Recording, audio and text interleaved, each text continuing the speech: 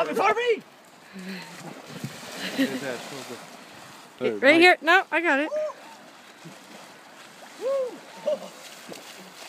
Now you guys have the biggest ball because you were there twice. Oh, they're already shrunk. They're not big.